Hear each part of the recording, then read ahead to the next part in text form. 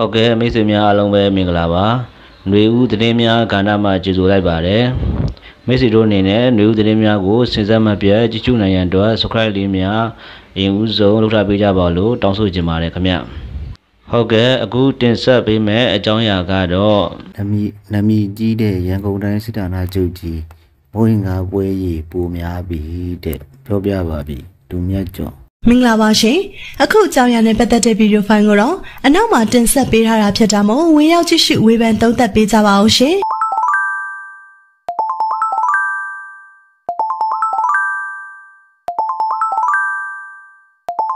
မင်္ဂလာပါခင်ဗျ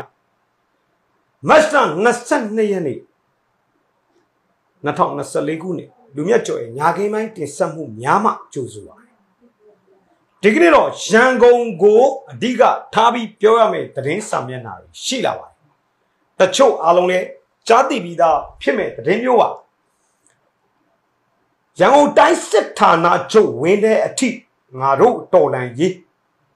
ဝင်ရောက်တိုက်ခိုက်နိုင်ပြီဆိုတဲ့သတင်းပါအဲ့တော့တိုင်းမှုဗိုလ်ချုပ်တပ်ပုံနဲ့မြို့တော်ဝင်စစ်ကောင်စီအပေါင်းပါရန်ကုန်တိုင်းကကောင်တွေပေါ့ဗျာနော်အဲ့ဒီကောင်ကွင်း ရန်ကုန်တိုင်းစစ်ဌာနချုပ်ဝင်းတဲ့အထိကိုကျွန်တော်တို့ရန်ကုန်တိုင်းပကဖအဖွဲ့ဝင်တွေကစစ်ကောင်စီအသွင်ယူပြီးတော့ဖြတ်အားပြင်းမိုင်းနဲ့ဖောက်ခွဲတိုက်ခိုက်ခဲလိုက်နိုင်တော့လို့သိရပါတယ်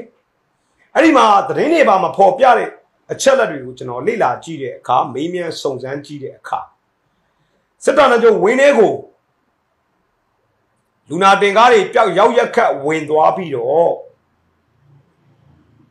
အကောင်ကြီးကြီးအမိရှေရှေတွေထိခိုက်ဒဏ်ရာရရှိမှုများရှိတဲ့တရင်ကိုအမှောင်ချဖုံးကွယ်လာတယ်လို့သိရပါတယ်ရန်ကုန်တိုင်းဟာစစ်ဌာနချုပ်ဝင်းထဲအထိတိုက်ခိုက်နိုင်ပြီဆိုတော့ကကျွန်တော်တို့အမြဲတမ်းပြောပြောနေတဲ့ထလော့ရန်ကုန်ရန်ကုန်ထလော့ဆိုတဲ့စကားအတိုင်းပဲရန်ကုန်ထလာတစ်ဖက်မှာလေရန်ကုန် ຫນွေအေးပလီဒေါပုံမြို့နယ်မှာဘာသာရေးလူမျိုးရေးသွေးခွဲတက်ရှုပြီးတော့ပြိပခဖြစ်အောင်လှုံ့ဆော်မှုတွေကိုမာဘာတတွေကတရက်စက်တဲ့လုပ်နေပါတယ်ဒီမတိုင်ခင်မှာဖြူးမြို့နယ်မှာဖြစ်တဲ့ရံပွဲကိုလည်းလူမျိုးရေးဘာသာရေးအသွင်စောင့်ပြီးစောင့်အောင်မရောက်ကြအောင်လုပ်ပါမနေ့ကညမှာလည်းဖြစ်သွားတဲ့ကိစ္စမှာလည်းတာမန်ရံပွဲတစ်ခုလူငယ်တွေခိုက်ရန်ဖြစ်ပွားတဲ့အုပ်စုဘွဲရိုက်ကြမယ် နှက်ကြမယ်ပေါ့ဗျာနော်ဒါကိုဘာသာရေးလူမျိုးရေးအသွင်ဆောင်အောင်ပြိပခအသွင်ဆောင်အောင်လောက်ကန်ဆောင်ရွက်မှုတစ်ခုဖြစ်လာပါတယ်အရှိမလည်းကျွန်တော်ပြောသူဖြူးမှာထို့အတူပဲရခိုင်မှာရိုဟင်ဂျာတွေကိုအတင်းဖိအားပေးပြီးတော့အေးလိုမရှိလို့ဘာလို့ဆိုရဲဆန္ဒပြပွဲတွေလောက်လာပါတယ်စစ်ကောင်စီကဘယ်ခြေကိုလမ်းနေလဲဆိုရင်ဘာသာရေးလူမျိုးကြီးပြိပခဆိုတဲ့ ခြေလမ်းကိုခက်စိတ်စိတ်လှမ်းလာတာကိုသတိချက်ကြပါဒရဒရစတဲ့မှာလေ50ခွန်တောင်တကုံမြို့နယ်ဗလီကိစ္စလေတက်လာတာအလုံးသိပြီးသားဖြစ်မှာထို့အတူပဲစစ်မှုထမ်းဥပဒေနဲ့ပတ်သက်ပြီးကြရက်ရိုက်မှုကိုအာယုံလွဲဖို့စ조사မှုလို့အာယုံလွဲဖို့လောက်ကင်ဆောင်ရွက်မှုလို့ပြောရမှာဖြစ်တယ်လို့တစ်ဖက်မှာလည်း တွေးထိုးဝါရဖြန့်တည်င်းဖုံအမှောင်ချမှုတွေတရဇက်လောက်ကင်နေတာကိုကျွန်တော်တို့မြင်ကြရမှာပါဆိုတော့ဒီအပိုင်းသတင်းတွေမှာကိုမိုက်ကယ်ဖန်ဆီးခံရမှုကြော်စိုးဦးကိုဖန်ဆီးမှုအဲ့ဒီကြော်စိုးဦးကအဖမ်းမခံရဘူးအဖမ်းခံရတဲ့ကိစ္စကိုမိုက်ကယ်ကလွတ်ပြီးမလွတ်ဘူးဆိုတဲ့ကိစ္စဒါတွေအများကြီးစာမျက်နှာထပ်မှာ social စာမျက်နှာထပ်မှာဖုံးလွှမ်းလေးရရှိသလို တောင်းတယောက်ရီးစားရောက်ရတဲ့သတင်းကလည်းဖုံးလွှမ်းနေလေးရရှိပါတယ်အခြားသောရခိုင်တိုက်ပွဲသတင်းစစ်မျက်နှာသတင်းတွေ TNL ကကိုပိုင်အုပ်ချုပ်ခွင့်၅မြို့နယ်ကိုကိုပိုင်အုပ်ချုပ်ခွင့်အုပ်ချုပ်ရေးဘယ်လိုကောင်းလဲစီမံခန့်ခွဲမှုများစနစ်ကြလုပ်မယ်ဆိုတဲ့သတင်းတွေ KIA စခန်းတွေတရဇက်သိမ်းယူမှုတွေရခိုင်တိုက်ပွဲသတင်းတွေဖုံးလွှမ်းနေတာကိုလည်းကျွန်တော်တို့တွေ့ရပါတယ်ဆိုတော့က သတင်းသမားတွေသတင်းဖော်ပြသူတွေကတော့ highlight သတင်းတွေဖော်ပြလေးရှိပါတယ်ဒါပေမဲ့တော်လန်ရေးသမားတွေကတော့မျက်ခြေပြတ်မခံပဲတော်လိုင်းရေးသတင်းကိုတော်လိုင်းရေးသတင်းတွေကိုစင်ဆက်မပြတ်တင်ဆက်နေတဲ့သတင်းတွေလည်းကျွန်တော်တို့တွေ့ရပါတယ်ဆိုတော့ရန်ကုန်မျက်နှာစာမှာရန်ကုန်တိုင်းစစ်ဌာနချုပ်ထိဝင်ရောက်တိုက်ခိုက်နိုင်တယ်လို့မန္တလေးတိုင်းမှာလည်းမန္တလေးတိုင်းဟိုအလဲပိုင်းတိုင်းစစ်ဌာနချုပ်ထဲထိရှော့တိုက်တုံးတွေပြစ်ခတ်နိုင်တာမျိုးနာမခဆိုတဲ့ နောက်မြောက်တိုင်းစစ်ဌာနချုပ်ကလည်းဘာမှလုံးမရကြိုင်မရဆိုတော့ရမခဆိုတဲ့အရှိတောင်အရှိမြောက်တိုင်းစစ်ဌာနချုပ်ဆိုတဲ့လာရှိုးမှာလည်းရွာလေနေရခိုင်ဆိုတဲ့အန်တက္ကစအပါအဝင်ပေါ့နော်အခြားသောလိုက်ကောတက္ကစတွေဘာတွေကလည်းချီကျိုးလက်ကျိုးနဲ့ဘာမှလုံးမရဖြစ်နေတဲ့အခြေအနေကရင်ပြည်နယ်မှာဆိုရင်လည်းထို့အတူပဲ ဆိုတော့တော်လိုင်းရဲ့မျက်နှာစာကိုကျွန်တော်တို့တည်တည်ကြကြလေ့လာရရင်အရှိန်ဟုန်ပြပြနဲ့တချီတဲ့ထိုးစစ်မျိုးလှုပ်လာနိုင်မဲ့အရေးအယောင်တွေတွေ့ရပါတယ်။တစ်ဖက်မှာလည်းဒီအရေးခြေတွေကိုမြင်တဲ့ဖက်စစ်တပ်ဟာ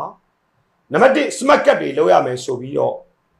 ဝါဒဖြန့်လာပါတယ်။အတင်းအကျပ်ပြည်သူဖိအားပေးလာပါတယ်။နံပါတ်2တော်လန်ရေးကိုအာယုံရောက်အောင်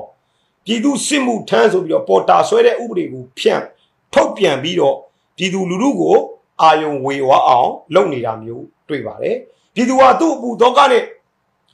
စစ်မှုထမ်းရမယ်ဆိုတော့စစ်သားတွေစစ်တပ်ကိုနာကြီးမုန်းတီးတဲ့စိတ်နဲ့စစ်မှုထမ်းရရင်တော့ငါတို့တမိုင်းတော့ပြတ်ပါပြီဆိုပြီးအဖွားတွေအဖိုးတွေအမေတွေအဖေတွေဟာဒိုတနေ့ရဆိုရင်စစ်မှုထမ်းမဲပေါက်လို့ဆိုပြီးအဖွားတယောက်ကတရားပေါ်ကခုံချတဲ့အဖြစ်တွေ စစ်မှုထမ်းရလို့ဆိုပြီးအစိတ်တောက်သေးတဲ့အဖြစ်တွေထိလူလူရဲ့စိတ်နှလုံးကိုကောင်းကောင်းလှည့်ပြားနေနိုင်တာတွေ့ရပါတယ်ဒါကြောင့်မို့ကျွန်တော်တို့ဟာညံပါပါနဲ့တော်လိုင်းရေးကိုရှေ့ဆက်သွားရမှာဖြစ်ပါတယ်တော်လိုင်းရေးအင်အားစုအချင်းချင်းကြားထဲမှာလဲပန်ဆယ်လိုတရားစွဲခံရမှုဘိုနဂါပြောရေးဆိုခွင့်ရှိသူကိုဆန်နှုတ်ထွက်မှုငှက်ကင်ပြဿနာကိုမိုက်ကယ်ဖက်စီခံရမှုမှာအော်စီကမိုးမိုးရဲ့ စနက်မကင်းဘူးလေပြောတဲ့ကိစ္စဘန်ကောက်ကကိုသားကိုစောသားရဲ့တိတ်ဆုံးမှုမှာအော်စီကမိုးမိုးကဘုံတိကိုမသိနဲ့ဆွဆွဲပုတ်ခတ်မှုတွေပေါ့နော်တော်လိုင်းမျက်နှာစာဘက်မှာလည်းအများပြားဖြစ်နေတဲ့အချိန်မှာဒီလိုပဲအညာမှာလည်းရှုပ်ထွေးနေတဲ့အခြေအနေတွေအများကြီးရှိပါတယ်ဒါကြောင့်မို့ရန်သူ ဘက်နဲ့ကိုယ့်ဘက်နဲ့ချိန်ထိုးကြည့်ရရင်ရန်ရှင်းငါရှုပ်ငါရှုပ်ရန်ရှင်းအယူအဆရရန်သူဟာကျွန်တော်တို့တော်လိုင်းအင်အားစုများထံကိုအာယုံမနောက်နောက်အောင်မရှုပ်ရှုပ်အောင်လုပ်မှာဖြစ်ပါတယ်ရန်သူရှုပ်ထားတဲ့အချက်တွေကိုတရုပ်ခွဲကြည့်ရင်ပြည်ရင်းပြည်ပအခွန်ဆောင်ရမှုတွေ CI ကိစ္စတွေနံပါတ်1ပြည်ရင်းမှာဆိုရင်စစ်မှုထမ်းဥပဒေ နံပါတ်3မဘာသာဘာသာရေးလူမျိုးရေးခွဲခြားပြိပခဖြစ်အောင်လှုံ့ဆော်မှုတွေဒီလိုအချက်တွေအများပြားရှိပါတယ်။နောက်ရွေးကောက်ပွဲလုပ်မယ်ဆိုတဲ့ကိစ္စစမကက်လုပ်မယ်ဆိုတဲ့ကိစ္စဒါတွေအများပြားရှိတယ်လို့ကိုယ့်ဘက်မှာလဲကိုမိုက်ကယ်ကိစ္စအော်စီမမိုးကိစ္စဘိုနဂါကိစ္စအန်ယူဂျီကိစ္စကိစ္စပေါင်း16000နဲ့ကျွန်တော်တို့ဘက်မှာလဲရှုပ်ထွေးနေလျက်ရှိပါတယ်အဲ့တော့တော်လေးပါမော်စီတိုးရဲ့စစ်ရေး6ဆောင်ရ ရန်ရှင်းငါရှုပ်ငါရှုပ်ရန်ရှင်းရန်ပြေးငါလိုက်ငါလိုက်ရန်ပြေးရန်စင်းငါတက်ငါစုပ်ရန်စင်းဆိုတဲ့စီရေး6ဆောင်သဘောတရားရနံပါတ်1ရန်သူဟာကျွန်တော်တို့ကိုရှုပ်ရှက်ခတ်အောင်လုပ်ရင်ကျွန်တော်တို့ကရန်သူကိုတိုက်စစ်မစင်နိုင်တဲ့အခါကြသူ့မှာအချိန်ရကျွန်တော်တို့ကိုခြေမုံနိုင်ပါလေဗျနော်ဆိုတော့ပြောရင်ရှည်သွားမယ် လူမျိုးရေးဘာသာရေးနဲ့ပတ်သက်တဲ့ပြိပခတွေကတော့ဖြစ်လာစရာယာဂိုင်လုံး80လောက်ရှိနေပါတယ်ဖြစ်လာအောင်လေစစ်တပ်စစ်အုပ်စုကလုပ်နေပါတယ်ဒါပေမဲ့ကျွန်တော်တို့ဟာတော်လိုင်းအင်အားစုများဘက်ကတော့တော်လိုင်းရေးကိုသာဒီဇိုင်းမမတ်အာယုံဆိုင်ပြည်သူလူထုကိုဒီဇိုင်းမမတ်စီယုံတိမ်သွင်းပြုစုပြုတ်ထောင်ပြည်သူလူထုကိုတော်လိုင်းသတင်းစကားတိတိကျကျဖြေချပြန်ချပြည်သူလူထုထံမှာဗဟုပြုပြည်သူကိုတော်လိုင်းရေးတဲ့ဆွဲခေါ်ပြီးတော့ ခက်မြန်မြန်ခြိတက်တော်လိုင်းရေးကိုအဆုံးတက်အောင်ပွဲကိုရယူကြရမှာဖြစ်ပါတယ်အကြောင်းအရာတွေအများကြီးကိုခေါင်းထဲထက်လက်ခံမနေပဲအမိုက်တွေကိုဖယ်ထုတ်တော်လန်ရေးတီတာတိုင်းပြည်ရဲ့ထွက်ရလန်းအဖြစ်မှတ်ယူပြီးတော့ကျွန်တော်တို့အောင်ပွဲစီပဲရှေ့ရှုကြရမှာပါကျွန်တော်တွေဖယ်ထုတ်ထားလိုက်တာဒီရပိုင်းရက်တပတ်အတွင်းမှာတော့အင်မတန်ကိုတရင်ပွားဖောင်းမှုတွေပြဿနာပေါင်းမြောက်များစွာတွေ ဆိုရှယ်ဆန္ဒမြစာမျက်နှာကြီးရာဖယိုဖရဲ့ဘရုံသုံးကားနဲ့ထိမ့်မနိုင်သိမ့်မရလှိုင်လှိုင်ထနေအောင်အာယုံတွေနောက်နေရပါတယ်အဲ့တော့အားလုံးကိုရှင်းအားလုံးကိုဖယ်မင်းအောင်လည်းဖတ်စစ်တဲ့အမြင့်ပြတ်ချိန်မုံကြီးတော်လည်းအောင်ဝဲတာလေငါဒီရဲ့ငါတို့ရဲ့အန်နီမတန်တိတ်ထန်ဖြစ်တယ်ဆိုတဲ့စိတ်တစ်ခုတည်းနဲ့တော်လည်းအကျိုးစီးပွားတော်လည်းရေးရဲ့ပန်းတိုင်စီကိုအရောက်လှမ်းကြမယ်လို့ပြောရင် ရဖြစ်မြဲပြန်ချစ်မယ်ငါတို့ကဒီမိုကရက်တစ်တွေဖြစ်တယ်ပန်းပေါင်းစုံကြောင်စုံပန်းခင်းကြီးထဲမှာလှပတော့နိုင်ငံတစ်ကိုတည်ကြမယ်အဖြတ်အမောက်တွေလှုပ်လာရင်လမ်းမှာစူးညောင်ခလုတ်ရှိလာရင်ရှင်းပြမယ်ငါတို့ဖက်ဒရယ်ပြည်တစ်ကိုငါတို့ညီညွတ်မှုနဲ့ပဲတည်နိုင်မှာဖြစ်တယ်ဆိုတဲ့အကြောင်းငါတို့အောင်ပွဲဟာ၃နှစ်တာကာလရုန်းကန်ပြီးတဲ့နောက်မှာအသီးအပွင့်တွေကို အခုအချိန်မှာစတင်ခံစားနေရပါပြီဒါပေမဲ့အဲ့ဒီအသီးဝင်တွေကိုကျွန်တော်တို့မမြင်အောင်မာလာဖက်စစ်တဲ့စေအုပ်စုဟာဘာသာရေးလူမျိုးရေးစစ်မှုထမ်းဥပဒေတကောင်စီကောက်ရွေးကောက်ပွဲလုပ်အစရှိတဲ့အာယုံနောက်မှုမျိုးတွေနဲ့ဖုံလွှမ်းနေတာကိုတတိချက်ပြီးကျွန်တော်တို့အောင်ပွဲစီတာရှေးရှုကြပါလို့ရှေးရှုကြပါလို့ကျွန်တော်လူမြတ်ကျော်ကအထူးအလေးနက်ထားတိုက်တွန်းရေး ဒီနေ့တော့ဒီလောက်ပါပဲကျွန်တော်ဟိုဘက် LMK review channel မှာတော့ဘာသာရေးလူမျိုးရေးတွေးခွဲတဲ့ရန်ကုန်ဒေါဘုံမြို့နယ်ຫນွယ်အေးပလီကကိစ္စကျွန်တော်ကြည့်မှာဖြစ်ပါတယ်ဒီဘက်လူမြတ်ကျော် channel မှာတော့သတင်း review တွေကိုကျွန်တော်သုံးသပ်တာဖြစ်ပါတယ်ဒါကြောင့်မို့ကျွန်တော်ရဲ့ YouTube တရားဝင် channel တွေမှာကြည့်ရှုပေးပါဒီဝင်ငွေနဲ့ကျွန်တော်ထမင်းစားတာဖြစ်ပါတယ်ဒီဝင်ငွေနဲ့ကျွန်တော်တော်လိုင်းရေးမှာ